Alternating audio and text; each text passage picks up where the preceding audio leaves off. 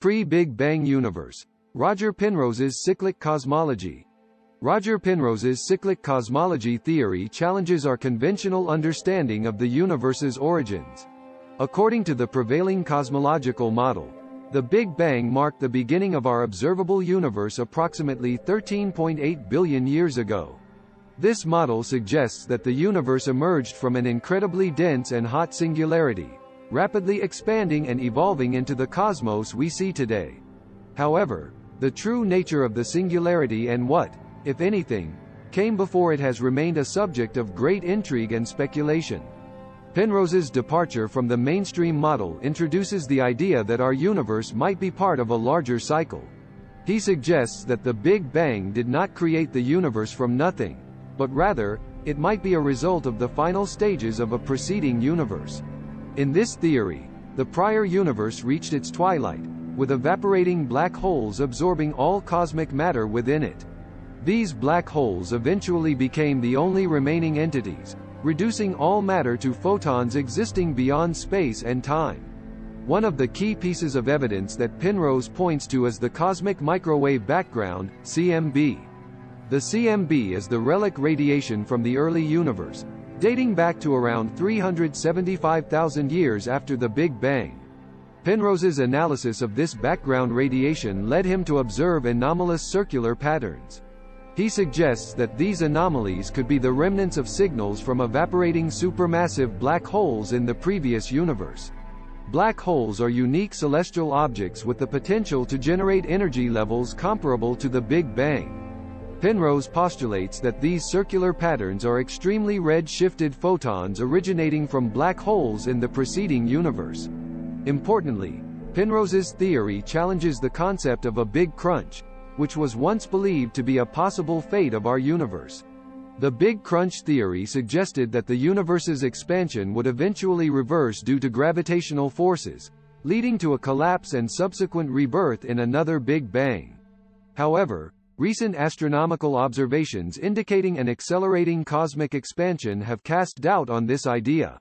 Penrose's theory suggests that our universe will continue to expand infinitely until even black holes disintegrate into photons, paving the way for a new universe and another cycle, which he calls an eon. While Penrose's ideas are thought-provoking and have generated much discussion and debate in the scientific community, it's important to note that this theory remains highly theoretical. As of my last knowledge update in September 2021, it had not been widely accepted as the prevailing model for the universe's origins. Scientific inquiry and exploration continue, and further research may shed more light on the nature of the universe's birth and existence. Multiverse theory. The multiverse theory, often referred to as the many worlds concept, is a captivating idea that has gained significant attention in the field of theoretical physics and cosmology. It suggests that our universe is not unique but part of a vast ensemble of parallel universes, each with its own unique set of physical laws, constants, and conditions. The roots of this idea can be traced back to various developments in physics. Quantum mechanics. Hugh Everett's many worlds interpretation of quantum mechanics posits that every quantum event with multiple possible outcomes leads to the creation of multiple parallel universes, each representing a different outcome. This implies that the universe branches into countless parallel worlds with each quantum choice or measurement. Cosmic inflation. The theory of cosmic inflation, introduced in the 1980s, suggests that during the early moments of the universe, there was a rapid exponential expansion. This inflation could have led to the creation of bubble universes within a larger cosmic space. These bubble universes would be isolated from each other and could have different physical laws and constants. String theory.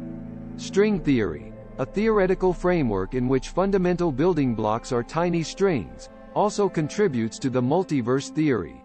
Within the landscape of string theory, there are numerous ways that these strings can vibrate, leading to a wide array of possible universes with distinct properties. While the multiverse theory is captivating and offers a potential explanation for the fine-tuning of our universe's physical constants, it remains speculative due to the lack of direct empirical evidence. It's crucial to acknowledge that many versions of the multiverse are inherently challenging to test or falsify. Making them more philosophical or metaphysical in nature than strictly scientific. Simulation hypothesis.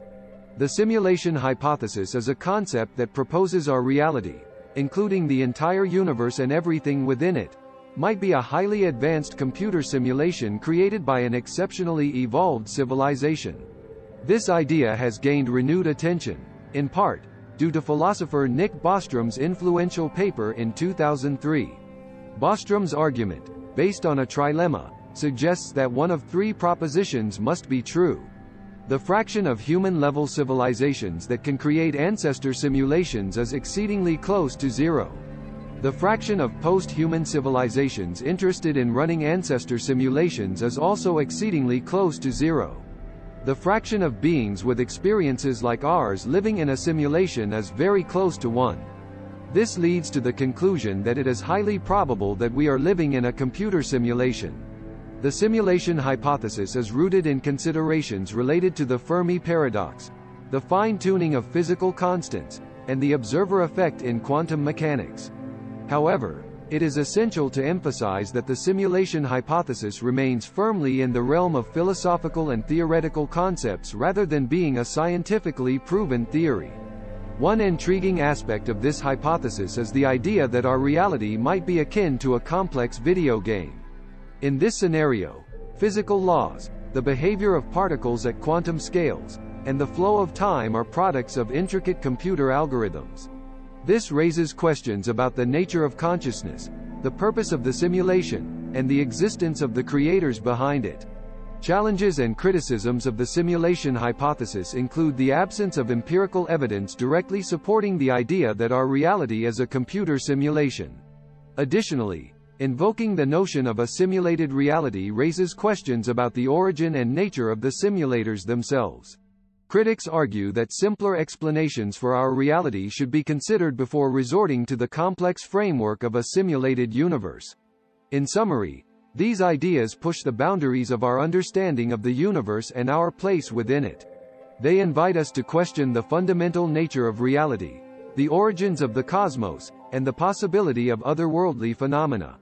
While they remain largely speculative, they continue to spark debates, fuel scientific inquiry, and inspire exploration into the fundamental mysteries of existence.